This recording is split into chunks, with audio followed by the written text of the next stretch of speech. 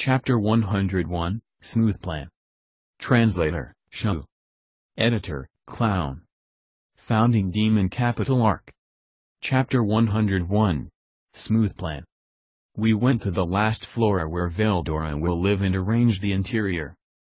I take out all of the furniture out from my stomach and set them in room cordoned off by blocks. Atmosphere is really important, so I can't let the public see it. I copied and prepared some items that Veldora likes. And after we finished decorating the room, we proceeded to the center of the 100th floor and had Veldora release his aura. Veldora released his aura carefully and managed to do so without an accident. The inner walls of the room were created out of ore. It going to turn into demonic steel soon after getting bathed with magic power after all, so it's a simple mod wall. This way, we can save a bit on costs. By the way, the first floor of this dungeon is a square room 250 meters wide. It's the same size as four Tokyo domes, but as you continued further down, the size got smaller. The dungeon was created this way so the ore could spread well. Veldora's room is 100 square meters wide.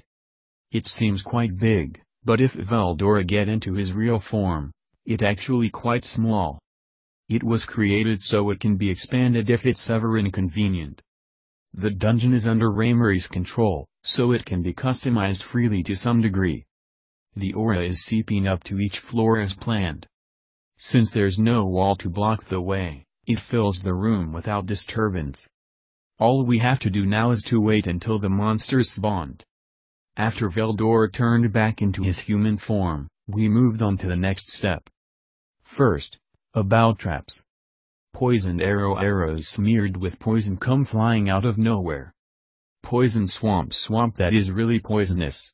If you fall into one, you'll get poison damage and abnormal status.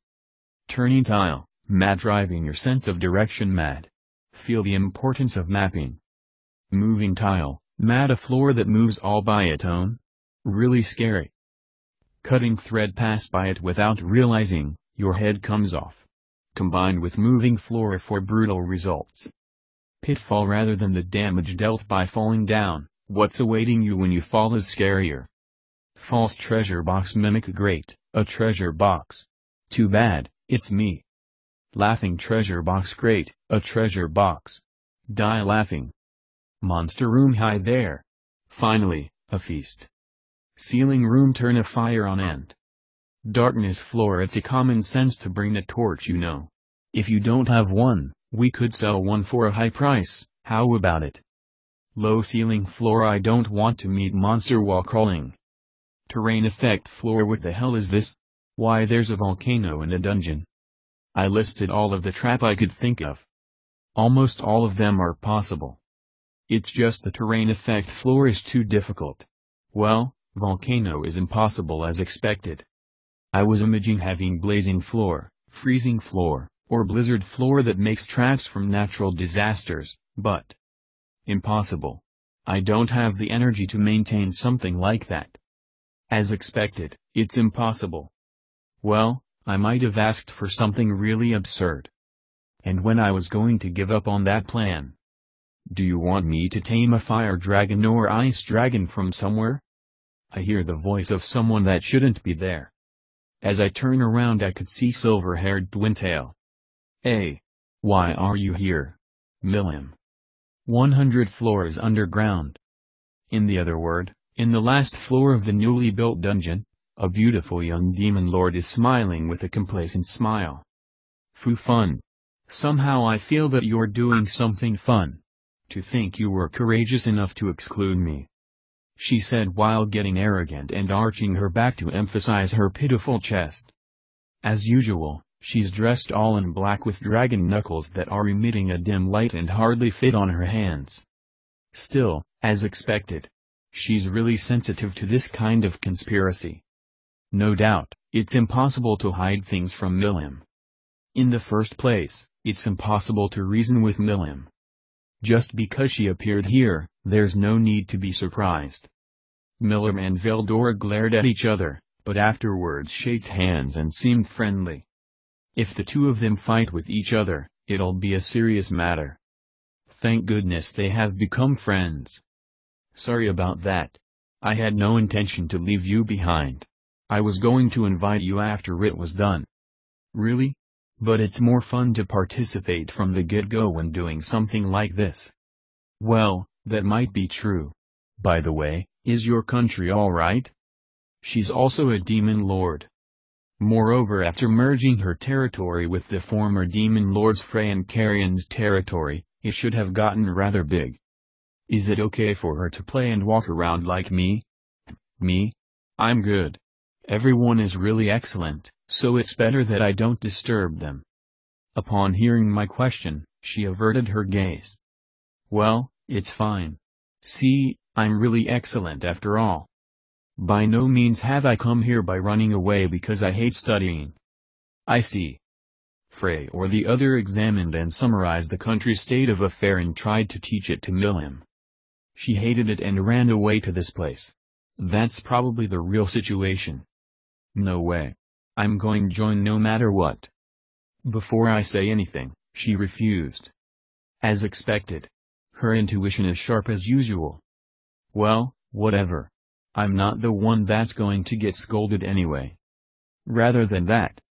Alright, I'm not the one that's going to get yelled at, so let's put that matter aside.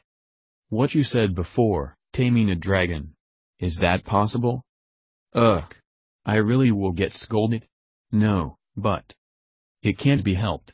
There's bound to be some danger when you venture out. It's possible to tame a dragon. If you want, should I tame one for you? Ooh, can I rely on you? In that case what species are there? Milim fears getting scolded, just like a kid that skipped their homework to go play. Well, it can't be helped. It's the path she took. After overcoming her worried expression, Milim's mood changed easily as she teach us about dragons. Seems like Veldor had no interest in it at all. Ramiris is saying something like what are you doing coming to this place? Just to get glared at by Milim and caught. From Milim's explanation, there are four types of dragons. Fire dragon, ice dragon, wind dragon, and earth dragon. There are some that gained special evolution or unique, but these are the only four types. As expected it's impossible to tame a dragon lord, but as long it's not a lord, it's possible to tame an adult one. With this, having an effect similar to terrain effect is possible. And so we'll have the dragons live on the lower floors. I don't really know just how strong a dragon is, but practically every dragon is at least in A rank. It's the level that could be defeated by six holy knights. An elemental dragon is bound to increase the difficulty. Thus, while being carefree, of course, I arrange the dragon floors. In order of strength, fire swine the earth. Or so it would be if the dragon is young. The order might get changed it's an old one. That is, the dragon that is able to exercise all of its power will arise victorious if it's the order from strength only and it became like that. And so. 99th floor is flame hell floor being covered in high temperature flame, the last gateway. Heat resistant equipment is needed. The one that waiting before it is? 98th floor is ice hell floor. If you stop, you die. Can you endure it with cold resistant equipment? 97th floor is lighting floor the thread of lightning falling down from the sky. Whether you can break through this floor or not depend on your luck. 96th floor is Drammer floor. As to ridicule the one that managed to come this far, a fiendish earthquake will befall you. Feel the wrath of the dragon. And so the super hard terrain floors have been created. The dragons could use the aura that Veldora released as food, so they could live here with no problem. There's no need to tamper with these floors. Just let the dragons that Milim tamed make a nest here and it'll be fine. Next, create a safe zone every 10 floors. Well, there's a boss room before each, so they could only access it after they defeated the boss. There, they would be able to purchase magic stones, sell drops, and buy potions at very high prices. Building a tavern or a restaurant might be a good idea. But would they just exit the dungeon if they wanted a break? Well, I'll decide on that as things go. The first floor difficulties is for testing only. So any beginner could finish it. The roads are wide, so getting lost is unlikely. Nevertheless, 250 meters in width is considerable. It's going to be a floor that makes you walk a lot without any result, income. From then on, starting with the second floor it's not that easy. It's time for the traps. Even though I say it won't be easy, in reality there isn't a single brutal trap up until the 10th floor, so I'm sure they'll proceed without any major difficulties. Immediately facing a death trap would dissuade people from continuing, so it's out of the question. In this manner, while arguing about this and that, the four of us proceeded to arrange every floor. And thus, after three days, we are almost done fine-tuning it. We nod to each other with smiles on our faces, leaving the dungeon with a feeling of accomplishment. Needless to say, the dungeon is filled with monster by the next time we went there. Milim went out to tame the dragons. I don't particularly mind the monsters getting destroyed, but that's a no-no for the dragons. We assigned all the tame dragons as Ramiris subordinates. Get this, inside Ramiris dungeon creation her subordinates are immortal. If Ramiris got killed, she'll disappear, but the subordinates could respawn at the recorded spot. This is the reason why she wanted Beretta so much. Even if Ramiris doesn't have any power, inside the dungeon, Ramiris troops are undefeatable. For Ramiris who doesn't have any subordinates, it just a meaningless invincible skill. Beretta himself serves as T without any complaint busily fulfills a mage's function. Since it seems that Beretta consents, working for Ramiris might not be so bad. With this, I finally gain real subordinates. Said Ramiris clearly emotional. She might be really lonely. So while looking at Beretta. Oi, Beretta. Do you want to be Ramiris permanent servant? I ask Beretta. I've been thinking of this for a while. If Beretta wants it, I'll let him change his loyalty. If Beretta didn't want to, I'll prepare a new subordinate for Ramiris. Beretta answered. Is it alright? Then I'll swear my allegiance to Ramiris Sama, as her servant. He said without any hesitation. Isn't it good, Ramiris? You're unexpectedly loved. I nodded. Fine. Well, then Beretta. From now on, you shall work under Ramiris. I declared, lifting the master lock and transferring it to Ramiris. Who's of course clearly dumbfounded by what has just occurred. A. Thank you very much for everything up until now. I won't forget the favor of letting me be born into this world. Don't worry about me. From now on, work hard and protect Ramiris. A. Even at the cost of my life. Let's believe him. If it's Beretta, I don't have to worry. The transfer concluded without any problem. From now on, I'll only be the submaster. As long as nothing happens to Ramiris, Beretta will only listen to Ramiris command. Ramiris who finally managed to understand the situation pranced around in delight. She might be really delighted. But, it's fine. Controlling the dragons inside the dungeon all by herself might be too difficult. So if Beretta is there when she needs him, there will be no problem. It also seems like Beretta doesn't want to hand over the position as the first servant since Beretta has been serving her for a while. Veldora and I start to get fed up while look at the prancing Ramiris. Being a formal master-servant relationship, Beretta became an immortal inside this dungeon.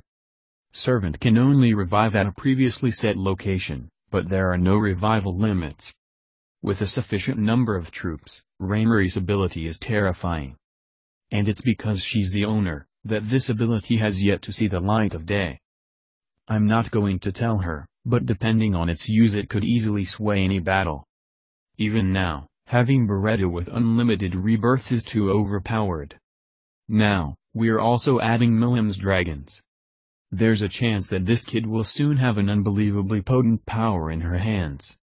But, it's Ramiris after all. There won't be any problem. This lovable fairy is just a small lonely kid. The revival item called Bracelet of Revival is also recognized by Ramiris, so anyone who wears it will not die. but, it'll have no effect outside this dungeon. If this thing isn't explained completely, there's a possibilities of misunderstandings. And then while confirming various things, the dungeon is getting shaped steadily. What's this airtight room for? Is this also a trap? To that question. If you suddenly enter into a room without air, you'll fall from not being able to breath. At worst die. You have to be careful in front of any room. This is an ironclad rule. Examine the poison inside the room, measure the concentration of air. If you can't do at least this much, you won't be able to last long. At worst, you have to use wind magic for ventilation. I answered, seems like she didn't understand. Well, I know that this is an atrocious trap. You. I've been thinking this for a while, but you're a terrifying guy. But, reliable. I wouldn't have been able to think of this kind of trap all by myself. Ramiris said while looking at the traps with admiration. So that's what she thinks of me. Well, I liked games in my previous world, so it's a trap that I've gotten used to. If you tell me to clear it in real life, though, I beg to differ. There's almost no one unaffected by poison and having no need to breathe like us. I think it's going to be a brutal dungeon. The completed masterpiece can hardly be described with only brutal. Well, if you add monster to those kinds of vicious traps, of course it's going to be fiendish. I feel like I heard a voice, but it's probably just my imagination. However, I bet I'll hear it again soon enough. After finishing the creation of the dungeon, I return to city. Veldora and Ramiris will probably happily finish the rest by themselves. They were very interested in watching me set up the traps. They also asked to allow them to set one up, but I refused primarily due to wanting to avoid a sick joke before the 10th floor.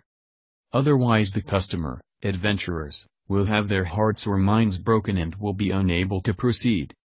However, I did decide to leave the rest to them on the condition that the floor must be passable. 95th and 94th floors will probably end up being nonsensical floors, but it's okay. 91st to 93rd floors are untouched. Milim might want to do one, so we'll set it up later. And so, I leave the rest to them. It's good to see them enjoy themselves this much.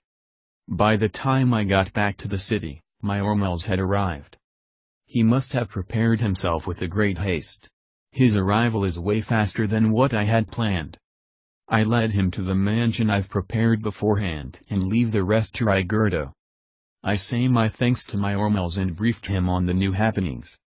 I explained the location of the arena and the plans for building a tavern town there. I also told him about the plan to attract adventurer with the newly built dungeon. Rigurd and Mjöllmile were shocked to hear that and it turned into quite a discussion. Rigurd wanted to discuss the type of people who will come here from now on. Mjöllmile discussed the opening of the arena and the dungeon. After listening to their opinions, we proceeded to discuss the necessary resources.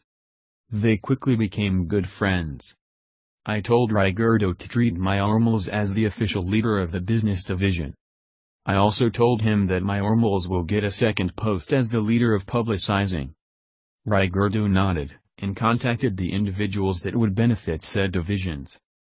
Thus preparation continue. Mjöllmile was accepted as the resident of Tempest easily. I only introduced him and let the other introduce themselves. The flow was so smooth it left me surprised. Anyways, after seeing Mjöllmile's work ethic, they can't have any complaints left. Mjöllmile's evinced that he's able to grasp the abilities of the subordinates that were assigned to him and, including his entourage, he assigned jobs to each member individually. Seeing a hierarchy completed in a blink of an eye is rather refreshing. Mjöllmile is really lively for being responsible for two divisions. Now, as for the invitations to various leaders and figureheads. Excluding the person I personally know, we send the invitation under Mjöllmile's name. Influential nobles and wealthy merchant of each town. His progress is so quick that you'd think he had been doing this his whole life. We also drafted up procedure and costs for the upcoming events. Not just the planning and management, but things are producing smoothly on all fronts. Looks like I chose the right person. Perhaps out of all the ideas I've thus implemented, choosing Mjöllmile was the best. If he were not here, the possibility of things going awry is high. With just our power, we couldn't have performed this well. I'm really fortunate to be able to meet good people. Mjöllmile also feel charmed by the food, environment, and comfort of this town. Impossible.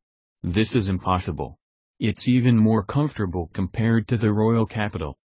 He kept saying until it basically became his catchphrase.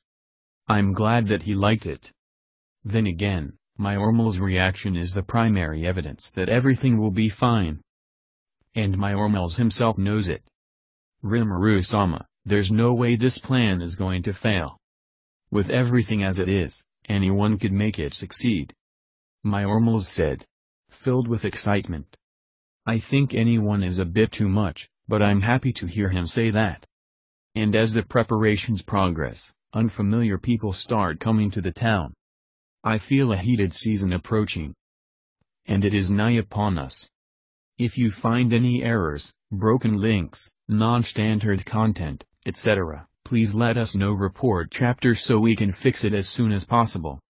Chapter 102, Audience with Monsters Audience with Monsters One and a half months have passed since I had ascended to a demon lord. The construction of the Colosseum has also progressed well. Gerudo's command and capacity for construction has allowed the project to progress just as planned. 1. Furthermore, the youngest of the three dwarf brothers, Mildo, had actually revised my blueprint and made it into a gorgeous building with a high artistic value. As expected from the dwarf, no, this was the work of a true artist. Simply splendid craftsmanship.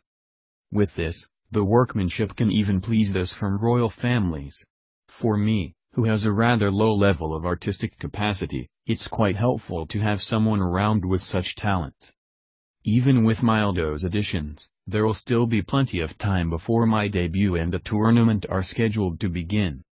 Regarding Underground Labyrinth Dungeon, the prospect for it was very good, too, there were still various things that I wanted to look into further, such as the labyrinth's design, but I had to entrust the remaining details to Ramiris and Veldora. Though there were plenty of things I wanted to get involved in, I simply don't have the time to help out with everything. To celebrate my ascension, or rather, to truly ascertain it whether I really am a demon lord, the representatives of various races have begun gathering one after another at the monster's country Tempest. It would seem that they wish to swear their loyalty to the demon lord, and as a result, gain the divine protection that such a lord could provide. However, if said demon lord lacked the ability to lead, said lord would surely plunge them into a certain path of destruction, rather than prosperity.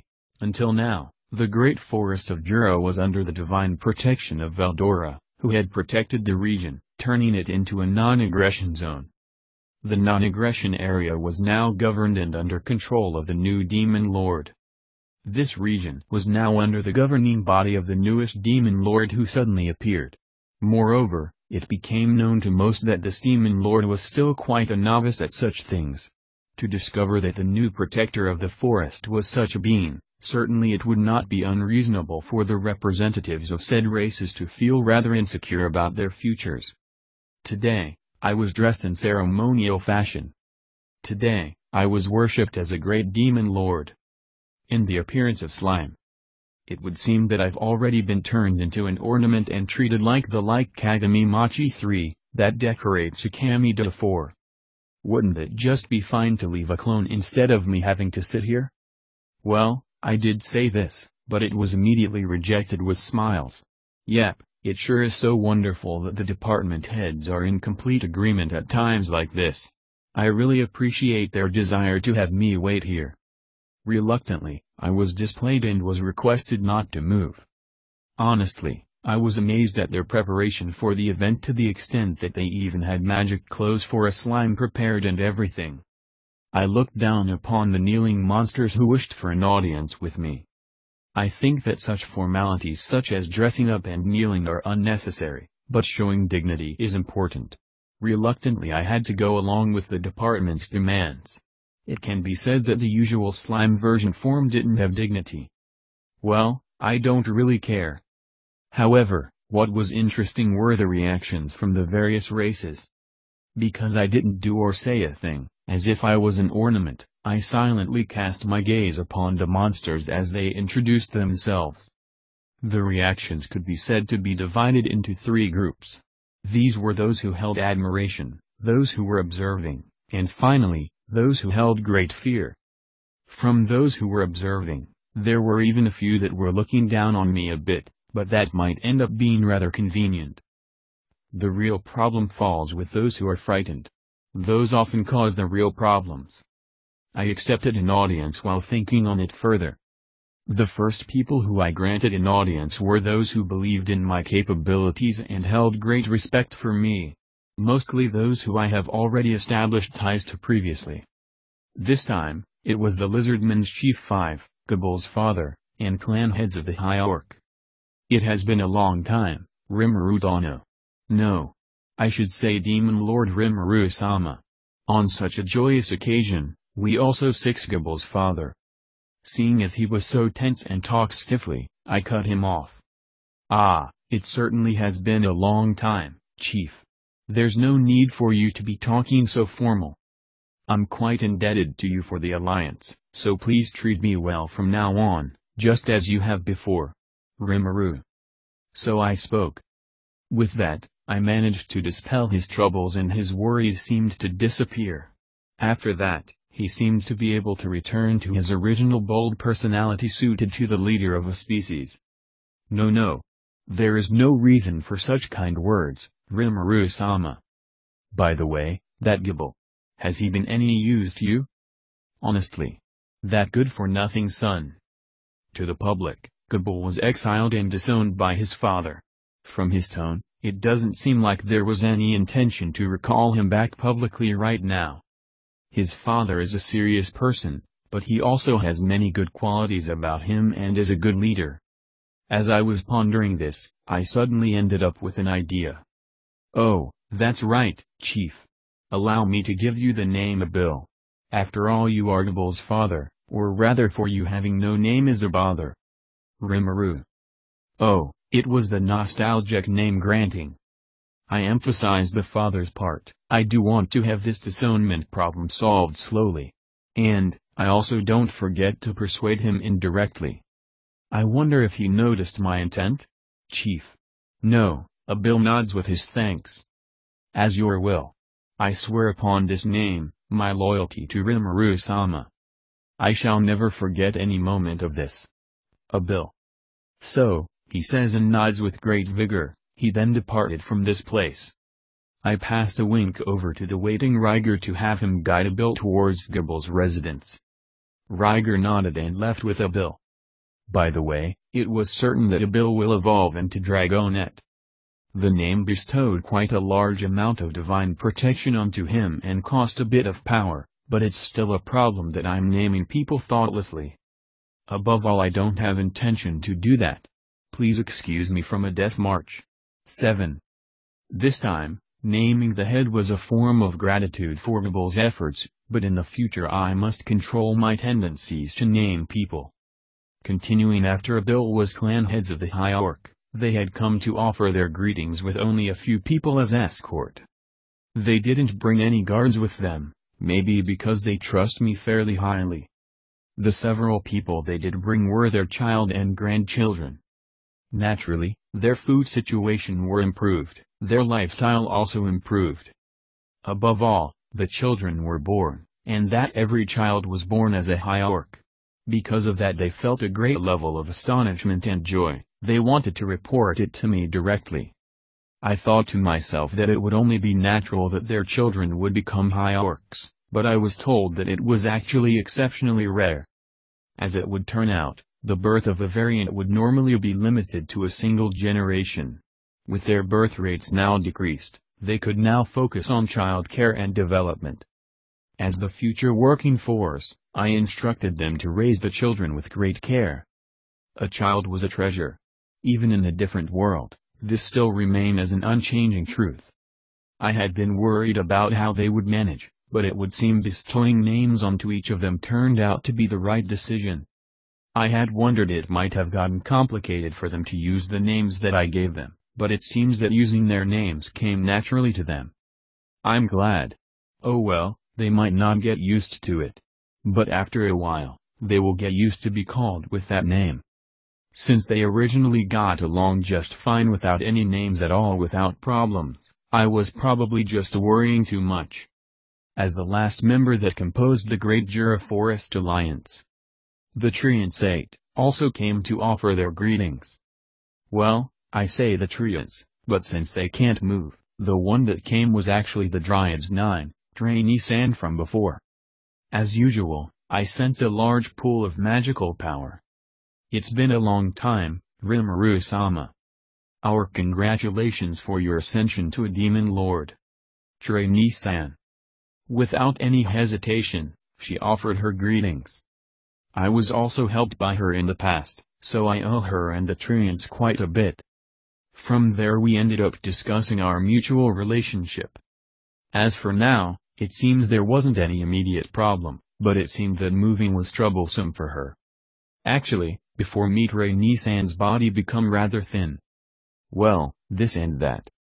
Until the Fairy Queen has completed her reincarnation, we had to remain behind. Since we couldn't move freely, we can only manage this much. Treyni-san. Did. She just say something interesting. Fairy Queen. No dot dot dot dot dot dot dot she doesn't mean. That should be Koten, was such an outrageous person. In my mind, I can only remember Ramiris's innocent smiling face. Eh, really? The fairy queen you say? Do you know the name? Rimuru. Yes, it's the great Ramiris Sama. Several thousand years ago, it was she who arbitrated with evil people, and after that her appearance vanished. Treyni-san. I want to pretend I don't hear anything. The Ramiris in my mind and the Ramiris in Trey image were absolutely not match. I'm certain of that. However, it seems that she was always waiting for her return. She must never think that the Fairy Queen had becomes one of the Demon Lords. Should I let her know and then recruit them as my subordinates? Um. I may have a clue about such person, but... Rimuru. E? Is that? Is that true? Treyni-san. She reacted with earth-shattering power after hearing my words. Let's just introduce her. If she saw the Chibiko, she might get disillusioned. Though, I never expected that Ramiris was actually someone important. I will not be discouraged. Resolving my will, I decided to let Treyni-san meet Ramiris. The result. The impressed Treyni-san weeps greatly. Seriously. Ramiris was the reincarnated, form of the fairy queen. Ah, that unchanging beauty, the elegant appearance. Treyni-san. Treyni-san was admiring while choking because of the tears of gratitude. Who do you said that again? I don't really understand. Especially, the elegant part. Even if you search Ramiris from top to bottom you would found nothing that match with the description. You heard that? Hey, you heard just a moment ago, right? You, just get a better opinion of me, right? Ramiris. Proudly, Ramiris came over and began boasting towards me. Annoyingly. She flying and buzzing around me. How dat? Ramiris. Such feeling, she really overjoyed. Oh well, I don't care. To meet with comrade by chance was a happy event. By the way, to had joyous reunion was just the first part, so I spoke once again. Anyway, how about moving into Ramiris's labyrinth? You see, since that place is near Tempest and it was also Ramiris's territory, you know? Rimuru. Ah. That's might be good. The floor can be enlarged easily, there are also a lot of empty floor, there also a jungle forest floor too. Ramiris. Ramiris agreed with my proposal. After all, inside the labyrinth Ramiris's subordinates will be immortal. Since they will end up serving their original role, I decided to make such a suggestion, however. As a someone who lives in Jura Forest, shouldn't we will be affiliated under Rimuru-sama. Treyni-san. Dre Nissan was seriously worried about that. The actual place, when I gave Ramiris the permission to establish the labyrinth, I also granted her extraterritorial rights on that place. The inside of the labyrinth was under both of my and Ramiris's control, it was a special area under the administration of a joint sovereignty. 11. As I explaining that and I also added that for now immigration wouldn't be an issue. Although Treyni-san was hesitating, she quickly recovered and decided to consult about this matter with the Treant elders. After that, she returned using teleportation. As expected of someone with the ability to manipulate the magic power of nature, she had quite the convenient skill. Although it looked like spatial transfer, its invocation was quick. But if I use my analysis ability, I would probably be able to learn it soon. After three days, the consultation between the elders had been completed smoothly and Treyni-san once again came. She then immediately requested for an audience, and the first thing she spoke was, We, the Treant and Dryad, would like to relocate under the protection of Ramiris-sama. Can you give us your approval, Rimuru-sama? Treyni-san. Her request was stated as so. Naturally, I gave out my approval to her. Thank you very much. Treyni-san. After I gave my consent, Treyni-san was elated. However, there was one problem, how on earth were they going to relocate the gigantic trees? That was the question. However, even so the solution was unexpectedly easy. Ramiris will open the labyrinth door over there, and transfer them as they were to the labyrinth. Because, I don't think that the Treants could relocate by themselves. However, since Ramiris' subordinates will be increasing, then it could lead the labyrinth inside to become stabilized in the coming weeks. The increased control of the magic power and air management will make running the labyrinth remarkably easier. And, although the numbers of the Dryad was only a few, they were suited as the guides inside the labyrinth. The 95th floor was established as the residence of the Treants to reside, they could replace Ramiris and Veldora to establishing that floor. Thus it will become a floor stage of overgrown greeneries. That floor had the widest area, with a diameter of 5 kilometers. And, around the door that lead to the 96th floor was the last record site safe point 12, and there would also establishment like inn and etc. before the boss.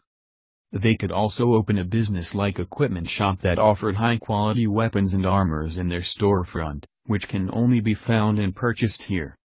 But since the customers visiting will be very rare, I don't doubt that opening the shop will just be a hobby. Surrounding the area was the completed Treants village. Thanks to the thick magical power concentration, everyone could live vividly. I also got the agreement of the Dryads to help with the management of the labyrinth. Rather, it was the other party that wished to be useful. I believe I have secured a group of loyal non-cooperative workers. Later on, on that floor, one forest-type city will be founded. A city that can fear solace, for those who suffered many struggles to penetrate the jungle.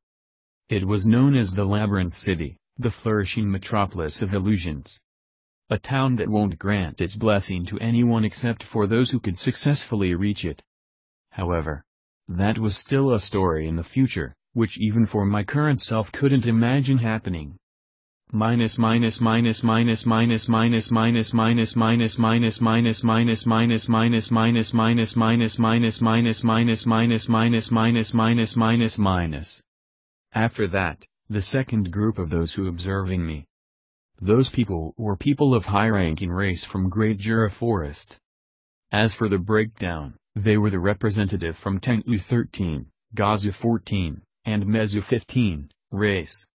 The Tengu reside in the mountain range near where the High Hierarch mountain clan settled. Furthermore, they had established their village before the gate to some other realm on an inaccessible mountain summit. Although it was once believed that there could be no one capable of inhabiting that place, it seems that those of high-ranking races aren't bothered so much by such environments. As the representative of their elder, the granddaughter, a youthful girl named Momiji, came bearing their greetings. Though the male's nose was long just like their name 16, the females of the species have normal ones as it would turn out. What stands out was that their skin color is rather reddish. Or perhaps that the males' noses aren't as long as I thought they would be. Well, I suppose if it was too long, it would become an inconvenience, so perhaps this is to be expected. However, this race. Their pride was surprisingly high. The very first thing that she said to me was, HMPH. To think that there would come an age where we would come to be ruled over by a lowly slime. How amusing. So amusing, I can't laugh at it. Oh well, what's done is done. We will give our recognition of your rule over this forest. However, we won't tolerate if you meddle in our affairs. Mamadi. So, she declared in front of the department heads. Twitching, Shion was started to burst out. But, the surprising thing was she able to restrain herself?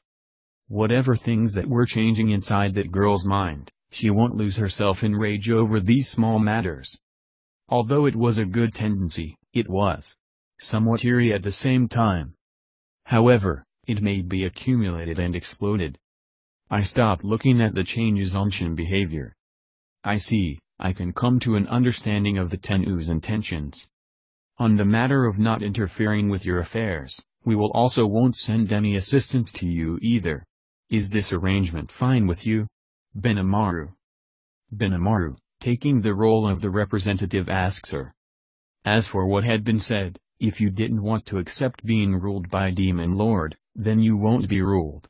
If it was another demon lord, s, he may annihilated people who shown disrespect behavior. But, I was generous and didn't care about such thing. Or rather, it was quite troublesome. Moreover, I already told everyone to do what they think will be best for the race that gives such reaction. When Benimaru received those words, he was only reconfirming it. Yes, that's fine. Mamadi. As such, when she gave her answer, I offered a nod. And then, Benimaru take over the conversation. I see. Then, let's go with the non-intervention with each other. However, please acknowledge the privilege of the hierarch that settles down upon the mountain. Do you also want to perform trade agreement like food or other goods? Benimaru. That's true. The mountain's blessings are not within our right to claim. For things like mineral ores, it is practically things that are useless for us. Regarding the hierarchs that have settled upon the mountains, we will just leave them alone. We just didn't want other party interfere with our affairs. So long as we will not be called for any military purpose, then it will be fine. Mamadi. We understand. There is no problem about this agreement. As for the military, you will not need to be concerned about it. I think that it's more preferable for the military to use volunteer system. This talk ends here. Well then, since you have had to trouble yourself to come to this country from far away, why don't you rest before you return? Oh yes, the warrior of this country had planned to hold a tournament. It's an exhibition, or perhaps I should say an entertainment. I think that this is a spectacle that will be rarely seen. I'm certain, that you will be enjoying this. Benimaru. The conversation ended on such a note. I haven't heard about military voluntary system, I became a little surprised and also impressed. For forming a desirable friendly relationship, because she had troubling herself to came here, and then sees the tournament. I think she will return after enjoying herself in this country. But, the granddaughter of the Tengu's elder, Momiji was. Fufu. I want to see what kind of level the subordinate of the slime. Anyway, I think that it was just a good strike of luck for it to become a demon lord, right? 17 Momiji. She impudently declared such words, and then immediately departs. But, to directly declaring her own intention and asking me to agree with her, her personality must not a meek one. After Momiji had left. Though I endured it, isn't that too much? Shion. So Shion starts speaking. Indeed, I'm also a bit irritated. Benimaru. Even Benimaru too. Well, maybe it because she belongs to a high race, that can be classified as rank A. Certainly, they were powerful. Even if they want to have non-intervention, there was no need for them to be unreasonably deprecating themselves. So, that was I had thought. What sort of behavior was that? It was not as if we had asked them to become a subordinate, what was with such unchecked hostility? Or rather, I thought that it would be better for them to hand over the claim on the mountain. It isn't like we can honestly afford to stop harvesting the various resources of the mountain. If we were to ever expand our interests there and it causes trouble, certainly that could end up being a casus belli for war. If the other side was not an equal, shouldn't they need to be worried about the other party had done and match their behavior to match the situation, right? I want to admonish those two carefree couple. The problem was about the rights for mining. Oh well, in the first place it's not about who owns the mountain. Now, I'm going to officially proclaim and made myself well known, thus if there were any races that were objecting to my rule or my person, they will obviously show their hostility in the behavior. Well, non-intervention was good. Although I could easily crush them, as much as possible I want to foster good relationship with them. Responding the more or less impertinent conduct, let's just close one eye at that. 18. Continuing after that were two races. These were the Gazu and Mezu. Both races were on bad terms with each other, from what I've heard they have continuing their war for 100 years. Even so, they came together even if they oppose each other. The atmosphere was so tight that it felt as if the two representatives would break out into a fight at any moment. Though for the time being they restrained themselves while in my presence. And Yo, Demon Lord Sama. We, Gazu are useful in war, you know? Will you lend your help destroying the poor Mezu? Gazu representative. HMPH, don't be stupid. As the demon lord have a sharp eye. There's no need to hesitate, form an alliance with us the Mezu. Let alone Gazu, we will massacre all monster that dare to disobey. Mezu representative. What a troublesome bunches rather than passionate, that had come here. However, in the moment when I saw those fellows, an idea flashed inside my mind. That's right. Speaking about Labyrinth, it must have Minotaur.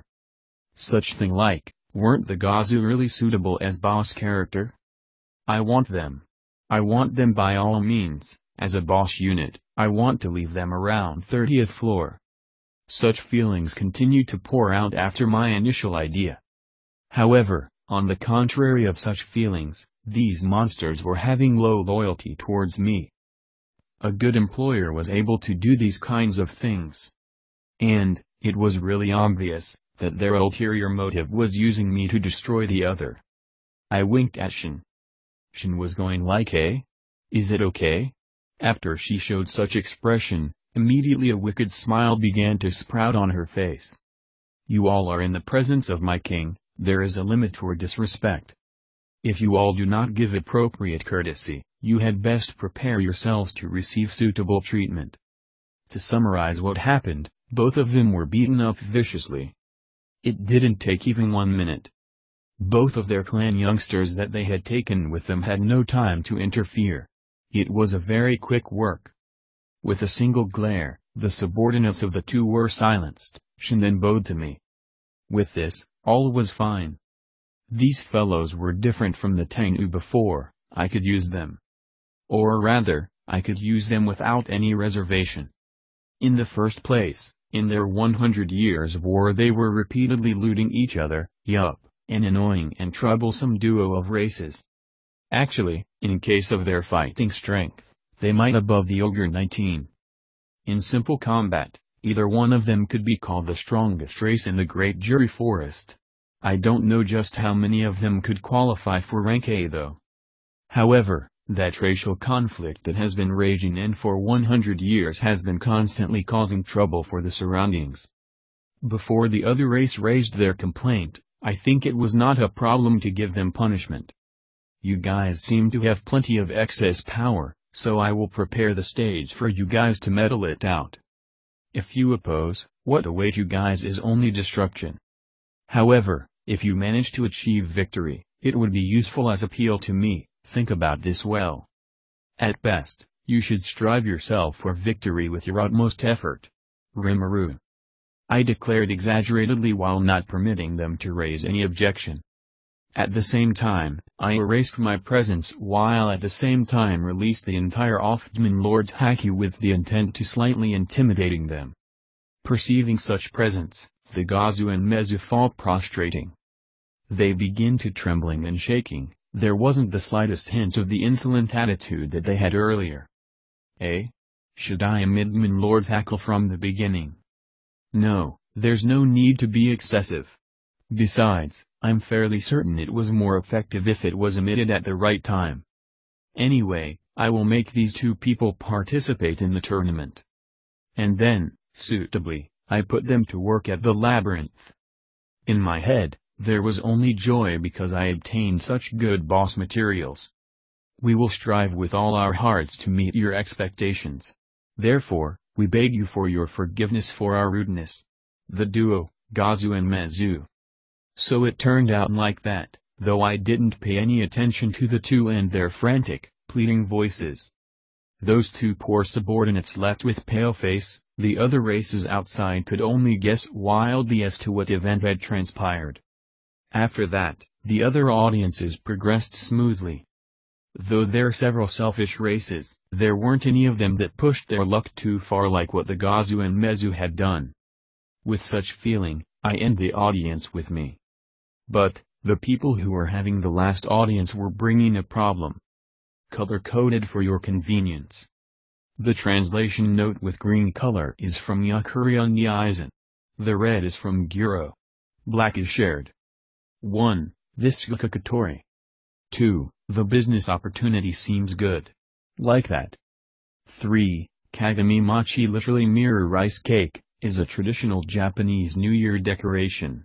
It usually consists of two round mochi, rice cakes, the smaller placed atop the larger, and a dai-dai, a Japanese bitter orange, with an attached leaf on top. Nowadays it is usually placed in a household Shinto altar, or kamidana. 4. Kamidana are miniature household altars provided to enshrine a Shinto kami. 5. Shiryo, kama can mean head, chief, leader. Chief sound better than head. 6. He is using ego, polite talk here. 7. We forgot to translate this line before. 8. Treant equals written as Treeman race read as Treant. 9. Dryad equals written as Tree Fairy read as Dryad. 10 child, shorty, midget. 11, also known as condominium in international law. 12, equals Kirakuchitan, Cebu Pointo, written as record site read as save point. 13, Tengu equals written as long nose race read as Tengu. 14, Gazu equals written as ox head race read as Gazu. 15, Mezu equals written as horse head race read as Mezu. 16, their race kanji mean long nose. 17. Believe me, this will bite her back, thousandths foldly. 18. In other word. Ignore it. 19. Ogre equals written as great on a race read as ogre. White's corner. Why? Well, with that, it's complete. I had intended to get it done on the 7th, but various events caused me to push it back. At any rate, now it's done and ready to be released. I suppose since I'll be editing more pieces, I'll have to think up of some interesting to use besides just the samurai layer. Black. That's simple, just throw us into a short story with plenty of action. You're a decent writer, think of something that won't bore me. I mean them. Why? Guro's Corner, starting Guro and? Sorry for delay guys, been busy these days. BTW do mana sound better than magic power for the translation from Mimoto. Guro. Tell us if you find any mistake. I will correct it tomorrow, Guro. Yukuri Uni Aizen's corner. Um. Nah, I'm too lazy. If you find any errors, broken links, non-standard content, etc., please let us know report chapter so we can fix it as soon as possible.